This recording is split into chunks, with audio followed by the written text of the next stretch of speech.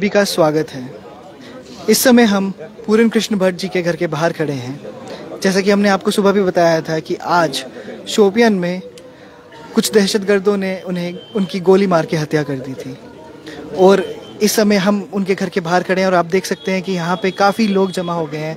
उनके पड़ोसी, उनके रिश्तेदार आ रहे हैं और अपनी कंडोलेंस अपनी कंडोलेंसेज जो हैं व्यक्त कर रहे हैं यहाँ पर उनकी परिवार के साथ और उनके परिवार के साथ बैठे हुए हैं।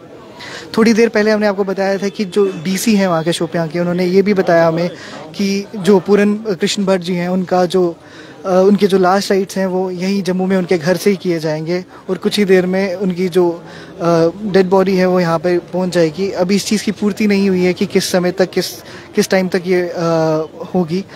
तब तक मैं आपको दिखा दूँ यहाँ के दृश्य क्या हैं कि उनकी फैमिली और उनके परिवार वाले जो हैं यहाँ पर किस तरह से बैठे हैं और शोक व्यक्त कर रहे हैं उनके पड़ोसी भी और उनके लोग भी। आसपास के।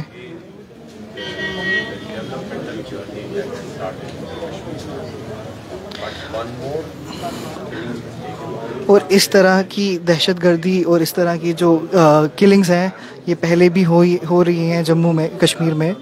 तो आज फिर से एक किलिंग हुई है।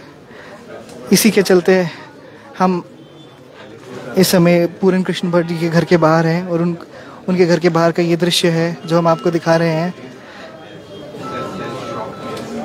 हम कोशिश करेंगे अगर कोई अभी हमें उनके परिवार से या उनके आसपास पड़ोसी उनके दोस्त जो हैं उनसे अगर हमारी बात हो सके। हेलो हेलो जैसे कि आप देख सकते हैं कि उनके घर के अंदर किस तरह से लोग जमा हैं और अपना शोक व्यक्त कर रहे हैं।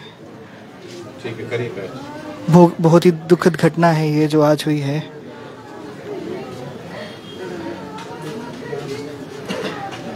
मैं एक बार फिर से बता दूँ कि आज सुबह शोपियान में पूरन कृष्ण भट्ट, जिनकी कुछ दहशत गर्दों ने, कुछ दहशत गर्दों ने सुबह हत्या कर दी। और ये उनके घर के लोग जो हैं यहाँ पर, उनके घर पे बैठे हैं और जमा हुए हैं। घटना तो बहुत दुखद है और हम इस समय सीधा उनके घर पे आए हैं और देख रहे हैं कि किस तरह लोग आए जा रहे हैं यहाँ पर अपना दुख व्यक्त करने। कोशिश करेंगे कि मुझे लगता नहीं है कि कुछ ऐसा माहौल हो पाएगा इस समय कि हम किसी से बात कर सकें। पर अगर हम कोशिश करेंगे, अगर कोई हमसे बात करने की कोशिश करे तो हम आप तक पूरी खबर पहुँचाएँ।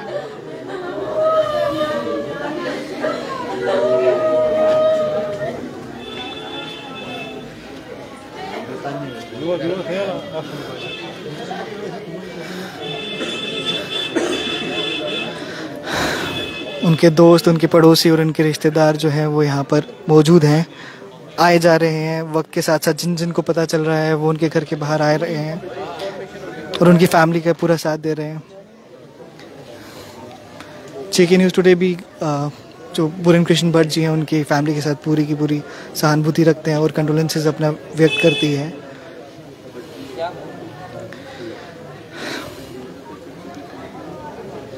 पर ऐसा लग रहा है कि अभी हम किसी से बात नहीं कर पाएँगे, क्योंकि अभी अंदर जो है सभी बहुत परेशान है और बहुत दुखद घटना के कारण। बट कोशिश करते हैं करेंगे, कुछ देर में हम आपसे फिर से जुड़ेंगे। अगर हम किसी से बात कर सकें और कुछ और इन्फॉर्मेशन निकाल सकें तो हम आप तक ज़रूर पहुँचेंगे। तब तक के लिए आप देखते रहिए जे के न्यूज़ टुडे